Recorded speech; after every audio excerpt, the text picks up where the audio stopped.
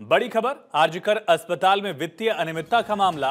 पश्चिम बंगाल सरकार ने जाँच के लिए एसआईटी गठित की है। 2021 से अब तक वित्तीय अनियमितता की एसआईटी जाँच होगी। एसआईटी एक महीने में राज्य सरकार को रिपोर्ट देगी। आईजी रैंक के अधिकारी प्रणव कुमार की अगुवाई में एसआईटी जाँच को लेकर आदेश दिया गया है। बड़ी जानकारी, एसआईटी का गठन किया गया है। आरजीकर अस्पताल में वित्तीय अनियमितता का मामला।